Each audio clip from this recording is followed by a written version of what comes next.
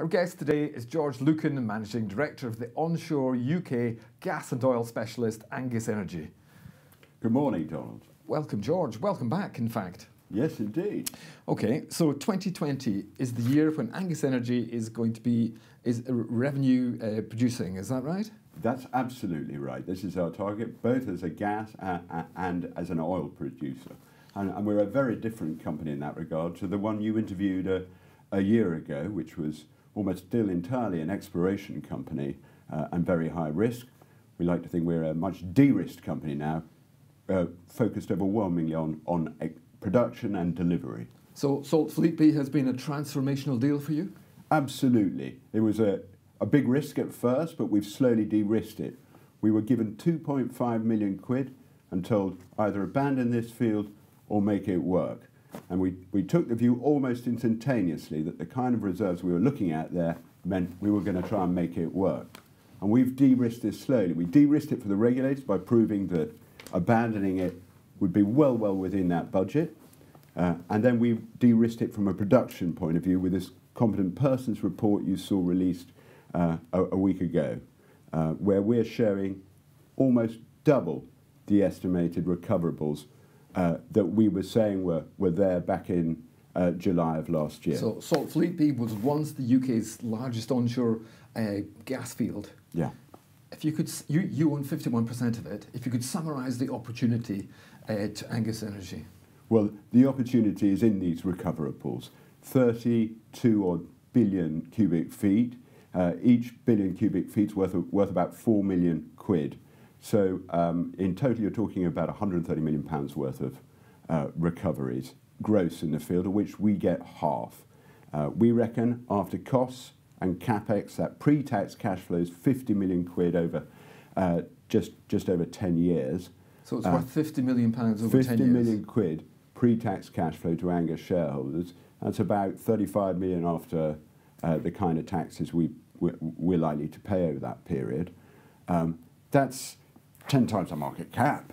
Um, uh, alone over the next five to seven years, we'd, we'd hope for uh, uh, three uh, to four million quid uh, per annum, because the best recovery is clearly in the earlier years. So is that, is that a net figure? That's a net figure. That's net cash to Angus shareholders every year. So that's what you're going to be making. In two years' time, that's what you're going to be making. Making, absolutely. Terrific. Terrific. Okay, uh, first gas. First gas. Well, we don't like to call it first gas because uh, why not? The, this field was actually you know the first well was dug in '88. This field's been running since '96. Top, top nick. You know, some of the best kit was left behind by by our predecessors. So uh, we. Can How do you know it's all going to be still working though? Oh, well, because it's it's been maintained fantastic. We can go right up to the wellheads of the two producing wells and see the pressure on the valves, which of course has risen a little bit uh, since, since it was shut in, as, as reservoirs naturally do. So it wasn't shut in because there, there wasn't gas there, it was shut in because the refinery uh, was closed nearby. Uh, that's, that's the fundamental uh, thing here. And I want, want to. How did you work around the lack of a refinery? Well, refinery, uh, the refinery that was there actually to take in a huge amount of gas and oil from the North Sea. We were an onshore element which happened to uh, utilise some ah. of its facilities. You were the icing on the cake. We were the icing on the cake. And not a lot of its facilities. When the gas comes out of the ground, it comes out reasonably clean and pure. Uh, ours comes out with a bit of water and a bit of something called condensate, which is various sort of uh, fractions of hydrocarbons. Not that dissimilar to a barrel of crude, but trades at a 10, uh, a 10 pound discount roughly. But the bulk of it is just regular methane. What you've got to do is you've got to take the water out of that methane uh, and any other impurities, which, are, which there are very few of, then you've got to compress it like mad, 75 times. So you need times. a processing plant? Uh, you need a little processing plant. And when we say processing, what we really mean is you've got to cool the thing down. Uh, and like your fridge, if you cool the air in it, you see the ice uh, condense around the fridge and you can scrape it off. And, that's and the remaining air inside is very, very dry. That's essentially what we do when we talk about processing.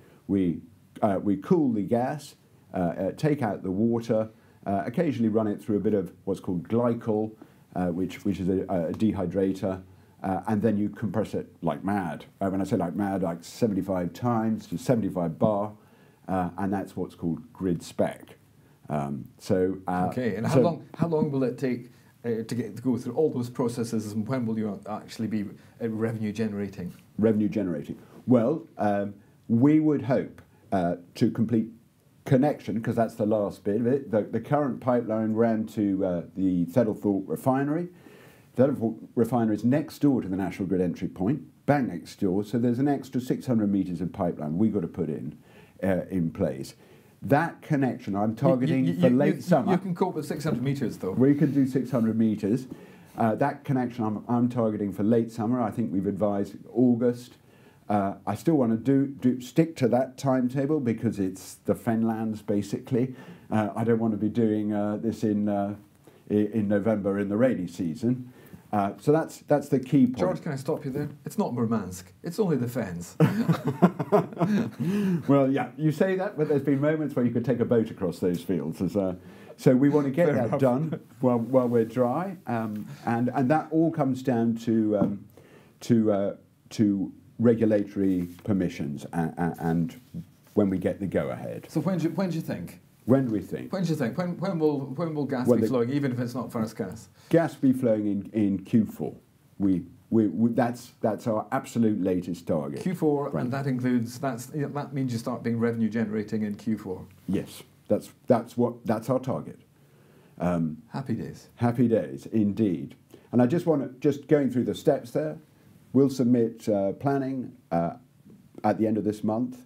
And that gives you a, a very clear timetable to all the other actions and all the other regulatory But you're asking for planning in, inside a must be a highly industrialised area already. So Well, yes, or, or a very sparsely populated one, Donald. So, So- uh, and, and one where we're not doing any drilling. So, uh, at least at this stage. So, uh, the only thing that uh, you should hear after all the acoustic baffling we put in is the tweeting of birds, uh, and, and there should be no significant uh, flare, ongoing flaring, or things you associate with things that upset locals uh, in other planning applications. there isn't any flaring, is there?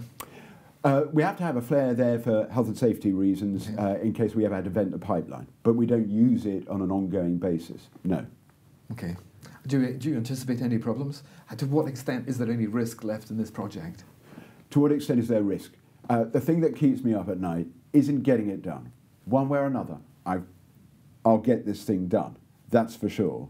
Uh, and I'll get it done with some flex on time, maybe, maybe with some flex on budget, not too much, but I'll get it done. I, and I'm going to get it done because there's 50 million quid at the end of it. Yes, uh, that is very much a pot, cash flow. that's a pot at the end of So- the rainbow, isn't Yeah, it? yeah. So I, I, you know, I'll run over a granny to get it done. Yes. But- Sorry, Granny. But but what worries me actually, if anything at all, is making sure this thing runs smoothly for another ten odd years. So it's the choice of kit I'm taking on Ah. board now. It's the degree to which I can manage downtime in the future. The, the guys, my predecessors, they, they, had a, they were unlucky. Got the wrong compressor at the refinery, and they had downtime of eight months. I don't want that ever to happen. So I've got the guys, our technical team here, I've got guys from uh, really some of the best process engineers. Uh, uh, guy, my technical director's been at British Gas for uh, before us for, for, for 10, 20 years. I've got the guy on the field, he's been on the field for 20 years. Uh, these guys are really good. And what we're overwhelmingly working at now is something that will be a workable, reliable, extremely safe solution for 10 years.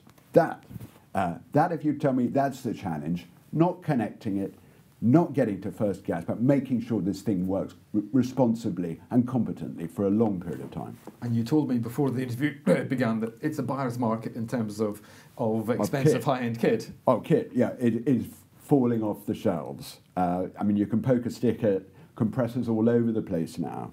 Um, even refrigeration units, you know, quite high-end ones, uh, so so uh, are, are, are going at unbelievable prices. Uh, we want to get exactly the right ones. We have to meet not only health and safety spec, but in this is national grid we go straight into. Some some fields they go into a local grid. It's a little bit easier. The pressures are lower. Here we're talking about very high pressure, very high quality, has to be metered, has to be monitored by grid. They're bang next door. They want to see everything that we do. Uh, so we're talking about very high standards here. But uh, all in all, that's good for you all, though. But high standards means it's going to work for 10 years. Exactly. And you're going to get even, even uh, revenues flowing for those, those years. Yeah, exactly. Okay. That's the target. Great. Um, let's take you back to the Weald and your 25% holding at Balcombe. If I understand you correctly, you're operator at Balcombe. We're operator at Balcombe. Uh, we're looking forward to planning there, as uh, said, on the 24th. So you got a planning application on the 24th of March. Well, That's we your next got, we step. got the committee meeting then. So uh, that's the moment where uh, West Sussex, Sussex County Council uh, can decide whether or not we fall within um, uh, their minerals plan and whether what we're doing there is going to be done responsibly and properly. What are you asking for at Balcombe? What we're asking for uh, isn't permission to drill, uh, it's permission to uh, extract and produce uh, over a three year uh, extended well test period. Um, and, and you might ask, um, reasonably, uh, test, uh, why are you testing for such a long period of time? Yes, it's a three-year test. It's a three-year test, uh, and uh, we've had a lot of questions about this.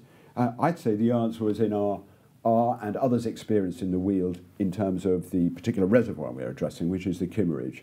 Uh, as we all know, back in our, our unhappy uh, exploration moment of Brockham last year, uh, we, we discovered that on the edge of the uh, Weald you can find absolutely nothing uh, in the Kimmeridge, uh, nothing movable at any rate. So. Uh, And it's our- not our movable neighbours- because it's too it, it, it, it, it's too heavy. It's it, it's too cold. Why is it not movable? Why is it not movable? It depends on the fracture system, the maturity of the oil, which varies very considerably from, uh, you know, perhaps even a kilometre to a kilometre. Uh, and that's been the experience of our, our, our neighbour uh, UKOG, uh, I think at Broadford Bridge. the wildly variable results we get from the Kimmeridge. Uh, so I think we're, we're being entirely uh, honest and open with, with all of the uh, regulatory agencies in council and, and in our community liaison when we say we really don't fully understand this reservoir. We're very confident there's oil down there because this time we saw it uh, when we last uh, drilled. Uh, but it's, it's, so it makes it a very different picture to Brockham. But how much? How will the pressure behave in the reservoir over uh, a three-year period? We don't know, and and we need that period before you go and sink another five million quid in the ground. You know, you, You're still get proceeding, so you, you, you think there's good news to be had out of Balcombe, though. And quantify the good news for me. Quantify the good news. We'd hope 300 uh, barrels a day, uh, and and that's Flowing on, a, on a regular, steady on, on basis. a regular, steady basis. Yes, not a J curve decline from from from uh, uh, from some uh, outrageous initial pressure, and, and that's coming from a technical team chastened by um, by exploration misses elsewhere in the Weald. oh, you learn every time you every time it doesn't work. You learn from it. I'm you sure. learn a lot more, and I think we are learning. And I think within three years' time, the the picture of the Weald will be very much better for those uh, remaining players, uh, and therefore the, if you like, the dollar one from from, the dollar of exploration will be a, a, a much better equation for investors. Uh, it's been difficult up to now because it's been basically pioneering. Uh, we Uh, we uh, can get better. what, what level of flow would make Balcombe commercial? Uh, what level of flow? Oh, uh, anything north of 75 uh, barrels would be comfortably commercial. Uh, 300 is, is, is a good figure, uh, a, a good sensible figure, and one we believe is sustainable, as you rightly pointed out. We don't want um, a spurt uh, and then nothing after six months. Would you consider another Balcombe, or, or have you had enough with Lidsey and uh, Brockham? I've got to say we've got a preference for gas now.